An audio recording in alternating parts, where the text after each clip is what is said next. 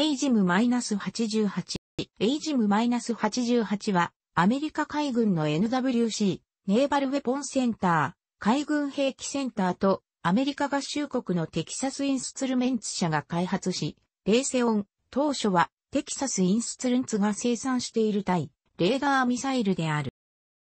AD 型までは、ハーム、 High、Speed Anti Radiation Missile、高速対放射源ミサイルの名称で呼ばれているが、最新の E 型は、M、アドバンストアンチ、ラディエーションガイドドミッセル、先進対放射源誘導ミサイルと呼ばれる。アメリカ空軍、アメリカ海軍をはじめとして、アメリカの同盟国で運用されている。敵防空網制圧の主要な手段の一つであり、地対空ミサイルのレーダーシステムに関連する電子送信層から放射される電波を探知し、誘導する空対地ミサイルである。AGM -45 シュライク及び AGM -78 スタンダードアームの各ミサイルの後継としてアメリカ海軍が開発し、当初はテキサスインストルメンツ TI によって生産されたが、TI が軍事防衛部門をレイセオン、レイコに売却した時にレイコに生産が引き継がれた。対レーダーミサイルは敵のレーダーから放射される電波をたどって誘導するため、敵レーダーがミサイルの発射を察知して電波の放射を中止した場合は誘導できなくなる。このため、ハームは敵レーダーにその余裕を与えないために、従来の対レーダーミサイルよりも高速であることが求められた。プロジェクト名でもあった、ハーム、ハイ、スピードアンチ、ラディエーションミサイルは、この最も重要な要求から来ている。その他、エイジム -45 の欠点でもあった探知可能なレーダー波の帯域改善ブロードバンドシーカー、大きな弾頭、運用上の柔軟性と高い信頼性が求められていた。開発中に航空機の前方、または後方のどちらからレーダー波を受けているのか区別できないなシーカーや誘導装置の問題があったが、1980年の初めまでに問題はほぼ解消された。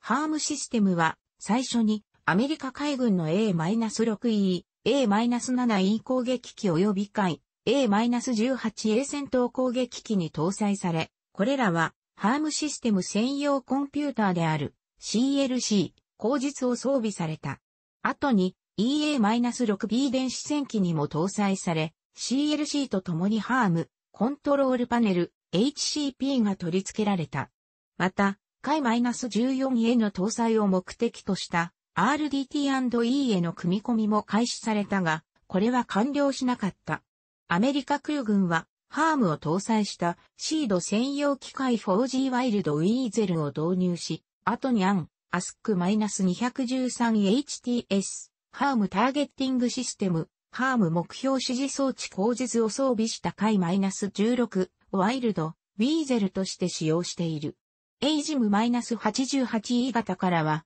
名称がハームから M に変更された。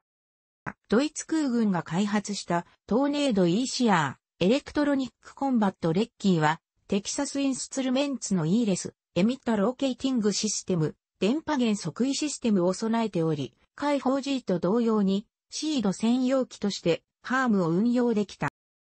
なお、 AGM -88 の発射の際に、他機に無線で警告するために、マグナム、 Magnum という符丁がコールされる。 AGM -88 システムは、 AGM -88 誘導ミサイル、 LAU -1181、A ランチャー及び航空機に搭載されたハーム専用の電子機器からなる。ミサイルは発射された航空機の高度及び位置と入力されたパラメータを元に電波源からの電波を分析及び追跡することで適正レーダーへと誘導する。玉体は先端から順に誘導部、弾頭部、制御部及び機関部の4つの部分に分けられる。細長い円筒形の本体に中央部に4枚の誘導翼、末端に4枚の固定安定翼を有する。ミサイルの先端にある誘導部は敵のレーダー波に向かうパッシブレーダーホーミング PRH 誘導方式のプロポーショナル誘導装置を持ち、電波源から放射される電波を解析するイザム能力を有する。誘導部の先端には、シーカーとなるレーダー波を探知する C、J バンドの交代域固定スパイラルアンテナを備え、インテリジェント、レーダービデオプロセッサーによって解析されることで、レーダー波のパルス繰り返し周波数、PR 回、パルスレペティションフリクエンシーズの特徴を見分ける。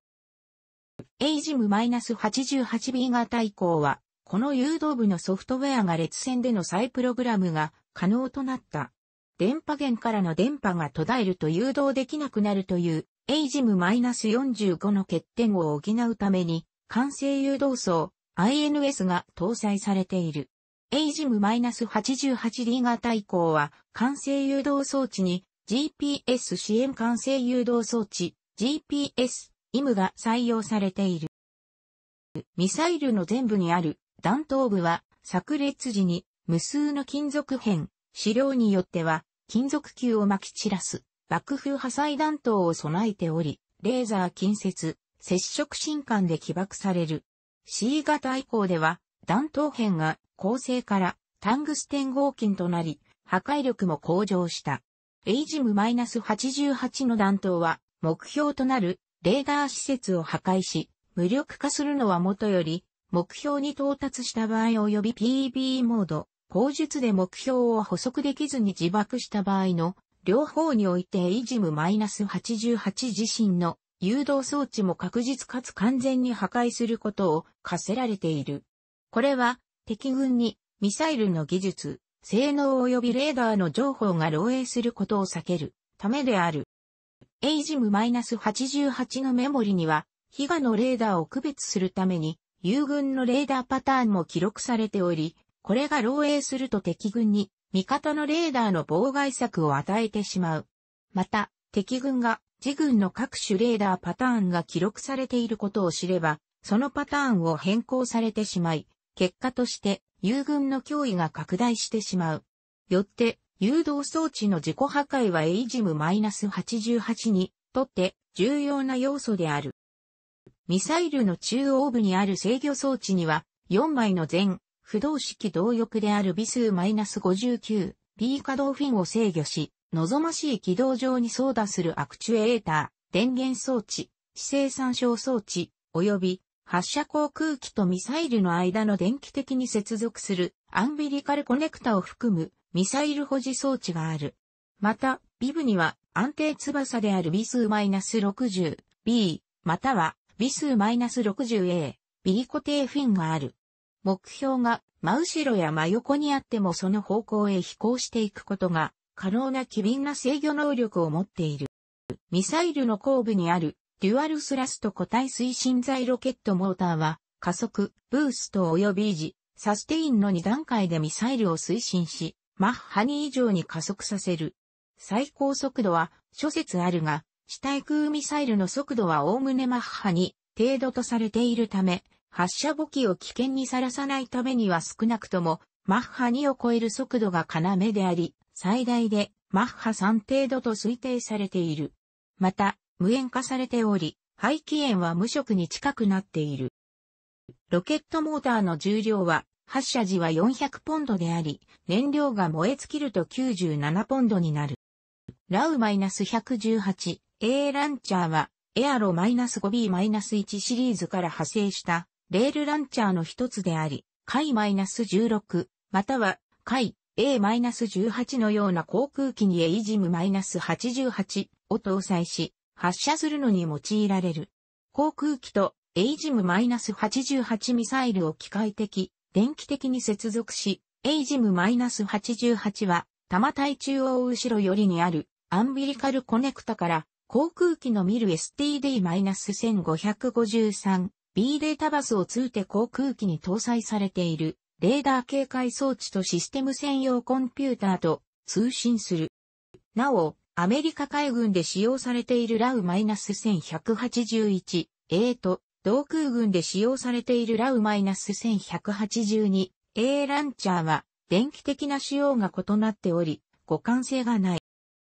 電子機器システムはレーダー波を放射している脅威を探知、及び補足し、搭乗員にこれを表示する能力、並びに脅威の優先度から目標を選択して、ミサイルを主導、または自動で発射するのを持つ。また、ミサイルを発射する前に目標に関するパラメータを航空機からミサイルに入力する。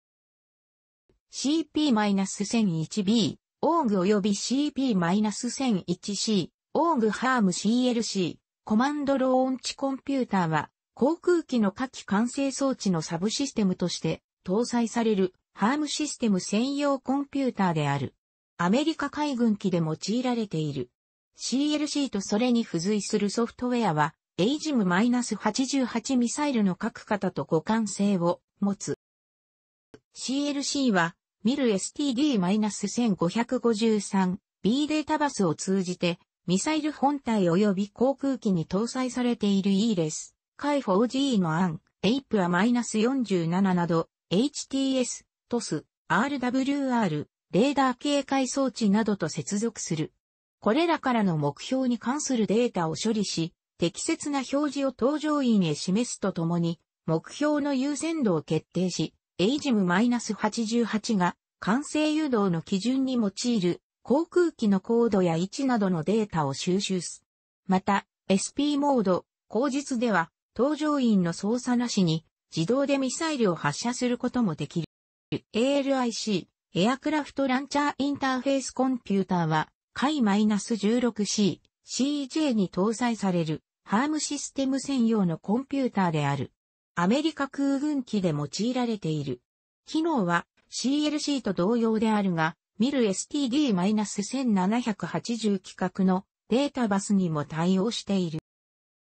ELES、エミットローケーティングシステム、電波源測位システムは、電波源の位置と種類を特定する電子装置である。ELES は、航空機の360度前周から到来する、交代域のレーダー波の探知、補足及び解析が可能であり、ハームの能力を十分に発揮させることができる。代表的な E レスは、開 4G に搭載されていた、アン、エイプはマイナス38、47ロース、レーダーホーミングワーニングシステム、レーダー追跡、警戒システムである。ロースは、E レスと RWR を融合させたシステムであり、脅威となる電波源への包囲を極めて正確に測定することができただけでく、連続的な方位計測を重ねることによって、電波源への距離を測定することもできた。しかし、ロースの最大の欠点はシステムが複雑で非常に高価であり、機器本体も大型であるため、カイ 4G が M61 バルカンを下ろしてまでロースを搭載したように専用の機体を必要とすことである。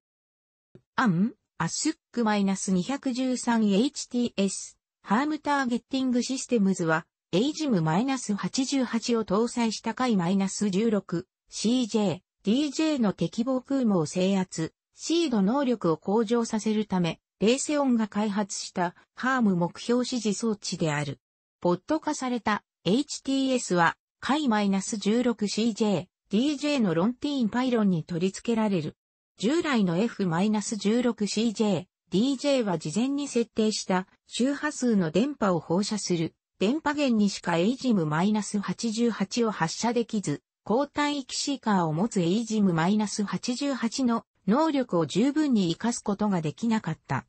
そのため、ワイルド・ウィーゼルの前任機であるカイ 4G に比べて、能力不足が指摘されていた。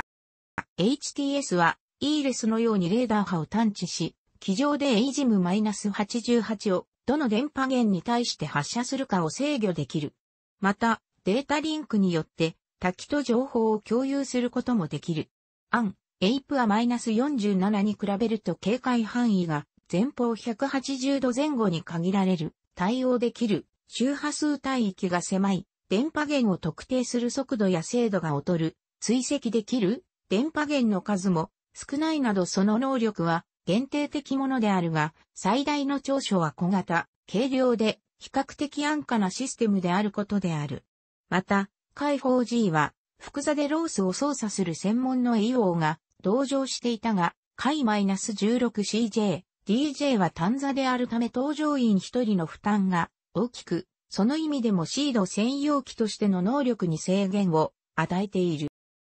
TOS、ターゲッティングエイビニックシステムは、アメリカ海軍のハーム目標指示装置であり、主に回 A-18 での運用を前提としている。当初回 A-18A は CLC を AN、アルア -67RWR に接続してハームを運用していたが、RWR は電波源の包囲探知能力だけしかなく、また、その精度も比較的低かった。そのため、アメリカ海軍では、ハームは包囲のみの情報で、距離は未知の状態で発射されていた。トスは、軽量の受動精密包囲探知、距離測定受信機であり、搭載航空機に電波源の正確な位置情報を提供する。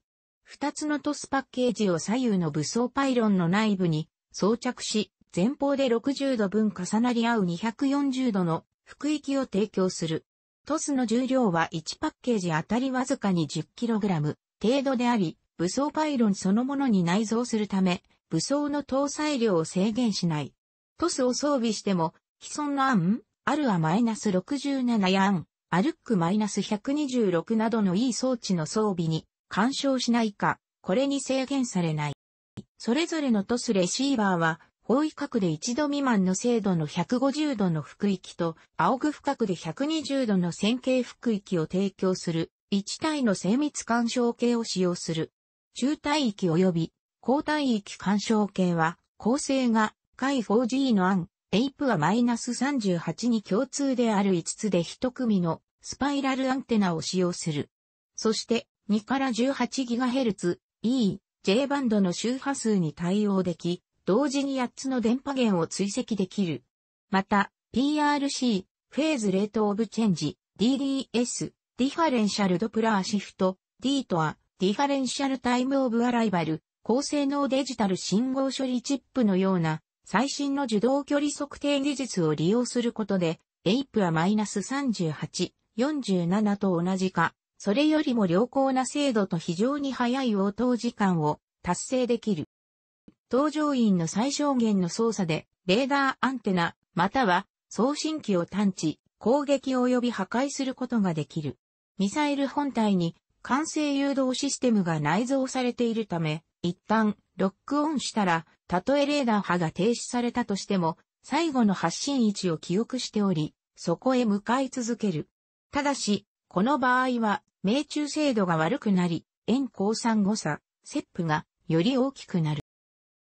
エイジム -88 には PB、IAM、SP 及び2の4つの動作モードがある。SP モード及び2モードでは、エイジム -88 を搭載する航空機の正面以外の方向に目標があっても、たとえ真後ろであってもシーカーの視野の中であれば、発射することができ、レーダーのサイドローブやバックローブに対しても有効とされるが、この場合は射程が短くなる。なお、核モードで複数の名称があるのは、アメリカ空軍の海 4G と海 -16CJ とで同じモードで別の名称を用いていたり、空軍と海軍で別の名前を用いているためであり、注意が必要である。エイジム -88A は、エイジム -88 の初期生産型である。ロケットモーターは、デュアルスラスト固体推進剤ロケットエンジン SR-113TC-1 弾頭部は WOW-7B であり、約2万5000の鋼片を爆発時に飛散させる 66kg、146ポンドのアジュー -21B 爆風破砕弾頭と FMU-111B レーザー近接進管を備えている。また、ワグマイナス -2B 誘導装置は2から 20GHz の周波数のレーダー波を探知可能である。また、管制誘導装置 INBS、IM を備えている。対応できる周波数が交代域のみであったため、地対空ミサイル、サムシステムの補足及び射撃管制レーダー、AAA の射撃管制レーダーなどには対応できたが、比較的低い周波数を用いる早期警戒レーダー、G 時、グラウンド、コントロールインターセプトレーダーなどには探知できなかった。最初のエイジム -88A はブロック1とみなされ、これに実装されていたソフトウェアを便宜的にブロック1、ソフトウェアと呼ぶ。ブロック1では、プログラムやデータを書き換えたい場合には、シカーをメーカーに送り返さなければならず、非効率であった。これを改善するため、ブロックに回収で、シーカーが変更され、ブロックにソフトウェアに変更するとともに、シーカーのソフトウェアを書き換え可能な EEPROM に実装するようになり、新たな種類の脅威が判明した場合には直ちにプログラムを変更することができるようになった。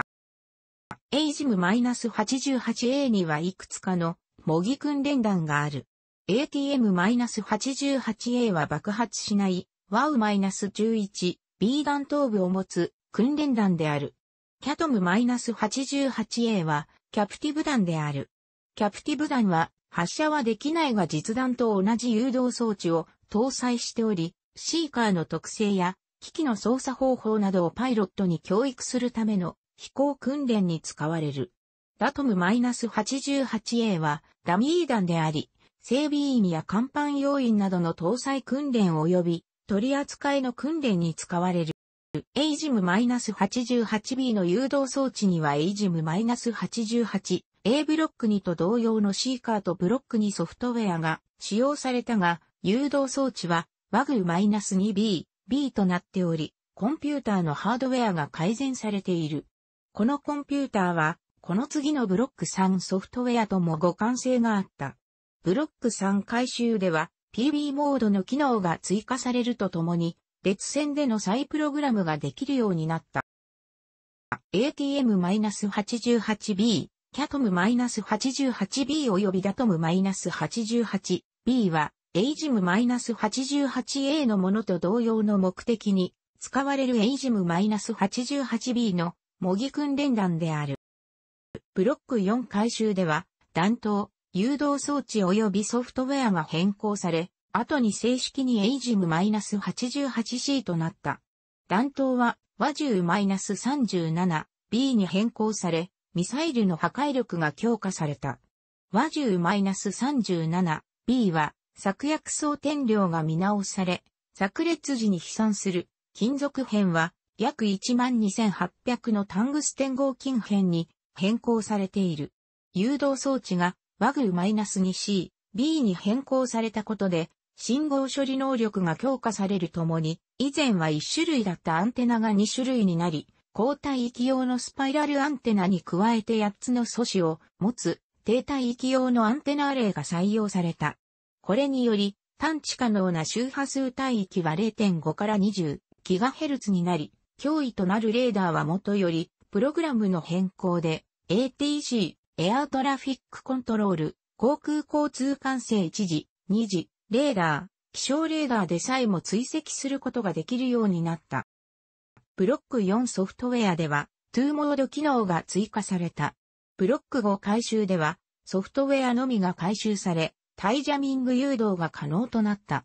この改修は、エイジム -88C ブロック4だけでなく、エイジム -88B ブロック3にも適用され、それぞれエイジム -88C ブロック4、5、エイジム -88B ブロック3、5と呼ばれた。すべてのエイジム -88C ミサイルは、 AGM-88C-1 として、テキサスインストゥルメンツによって製造されたが、シーカーが高価であったため、より低コストのシーカーに変更された、ロラール社製 AM-88C-2 が試作されて、試験飛行が行われたものの、本格的な生産はされなかった。ATM-88C 及び CATOM-88C は、AGM-88A のものと同様の目的に使われる AGM-88C の模擬訓練弾である。しかし、DATOM-88C は作られず、DATOM-88B と共通で使用された。ブロック6回収は、米国、レーセオン、ドイツ、BGT 及びイタリア、アレニアの共同で推進され、INS にこれまでの機械式ジャイロに代わって、リングレーザージャイロを使用た GPS 支援管制誘導装置が組み込まれた。GPS で管制誘導を補正することによってレーダー波の停止によって目標のレーダーへのロック音が失われた場合での命中精度が改善した。GPS 誘導装置のセップは6メートル、20フィートのオーダーとされているが、実際に脅威にどれほどの損害を与えられるかは、ミサイルの発射前に位置情報を指示する航空機搭載電子機器の精度にも左右れる。ブロック6改修によって、アメリカではエイジム -88C がエイジム -88D となり、ドイツとイタリアではエイジム -88B が回収され、エイジム -88B ブロック3バイトと呼ばれることになった。M、 Advanced Anti-Radiation Guided Missile、先進対電波源誘導ミサイルは、フェーズ3スバー、スモールビジネスイノベーティブリサーチプログラムに基づいて開発されているデュアシーカー対レーダーミサイルである。電波源からの電波が停止された場合の精密誘導、及び濃密な電波環境における想定外の目標への着弾を減らすことを最大の目的としているが、友軍への誤爆を減らすことも重要な要求である。ソビエト連邦から分離独立したバルト三国や旧ワルシャワ条約機構加盟国などの東欧諸国が NATO に加盟したことにより、多国籍軍が展開いる場合に想定される戦時環境が大きく変化し、それらの国々がソビエト製の装備を使用している関係上、友軍と敵軍のレーダーを単純に区別することが難しくなった。このことにより、友軍への誤爆の危険が高まったため、より高精度の攻撃能力が求められるようになった。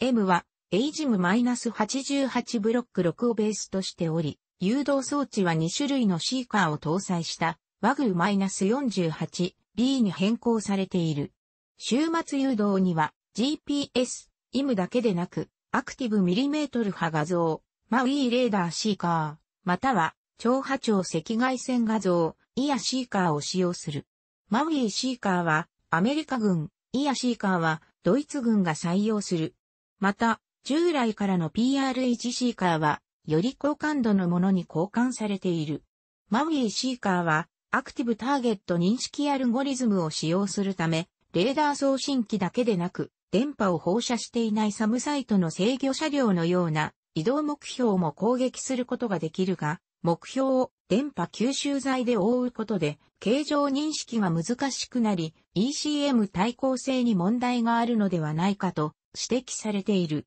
一方、イヤシーカーは ECM 対抗性に優れており、画像を元に誘導するために慢されにくいとされているが、高速熱環境における画像劣化なども懸念されている。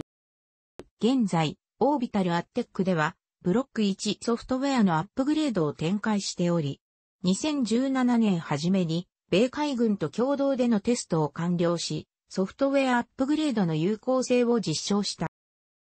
レーダー反射断面積の低減、飛翔速度の向上、射程延長も図られている。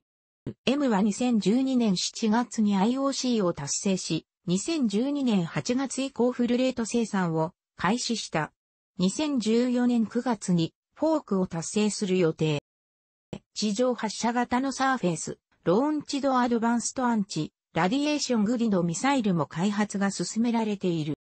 アメリカでは、オービタル ATK 製のエイジム -88E が選択されたが、レイセオンはエイジム -88E と同様のアップグレード機能を組み込んだ HCSM、 HARM Control Section Modification、ハーム制御部近代化という独自のバージョンを開発し、2015年8月19日にテストを完了した。レイセオンは海外のハームの顧客からのアップグレードに大きな関心があると述べていが、まだ輸出用にリストされていない。MER、 Advanced Anti-Radiation Guided Missile Extended Range、先進対電波源誘導ミサイル射程延長は、 AGM-88EM のエンジンと誘導システム、弾頭を新型に交換するものである。特にエンジンに関しては2段階推進方式とインテグラルロケットラムジェットの2種類が検討されていた。前者は20から50%の射程改善、後者は射程が2倍になる。予算の示唆するところでは、海軍は2段階推進を選んだとされている。また、フィーにおいて、海 -35 のウェポンベイへの装備も要求されていい。オービタルアッテックの MER の設計コンセプトは、接近阻止、領域拒否、A2、AD 環境における高度な機能に対する M の運用効率を向上させるための米海軍、USN の要件に対応ることを特に意図しており、海軍のリフック、CA イニシアチブの一環として、MER は A2、AD 環境での沿岸海域で競争している戦闘空間での運航と制御を可能にすることを目的としている。採用された設計コンセプトによれば、MER はビブに新たに設計された動翼を装備し、飛行中の効力を低減、ミサイルの中央部に位置する動翼は完全に除去されなければならないとしている。中央動翼の除去はミサイルのステルス能力にも寄与することができると推測される。また、縦方向に向けられたストレーキを追加して、揚力を提供しながら抵抗をさらに減少させている。その他ミサイルの高速飛行のために必要とされる thermal barrier、熱シールドがコンセプトに含まれている。2016年から2020年にかけて2.67億ドルの資金を投じて開発を行う予定である。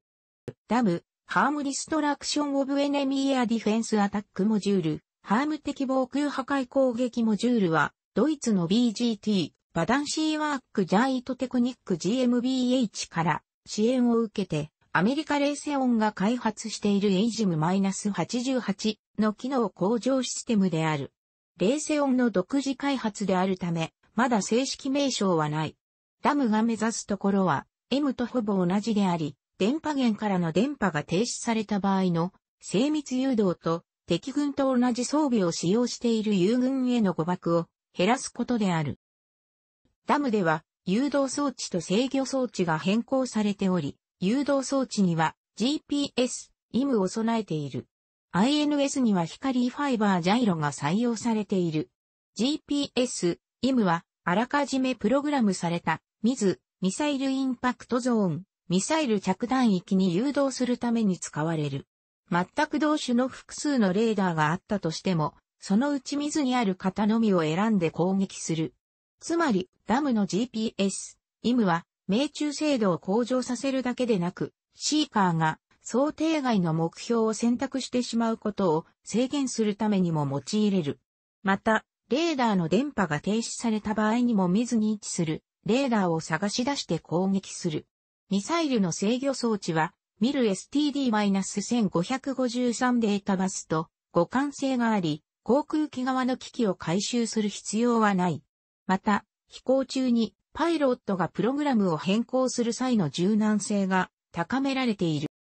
ハセド、ハイ、スピードアンチ、ラディエーションデモンストレーション、高速対レーダーデモンストレーションは、将来の長距離、高速対レーダー兵器のために開発された試験ミサイルである。エイジム -88EM 用に開発されたシーカーをノズルレスブースターと可変流量、ダクトロケット、VFDR、ラムジェットエンジンを搭載したミサイルに装備している。2008年8月15日にホワイトサンズ、ミサイル実験場において、9回 4G に搭載されて試験が実施され無事に成功している。楽しくご覧になりましたら、購読と良いです。クリックしてください。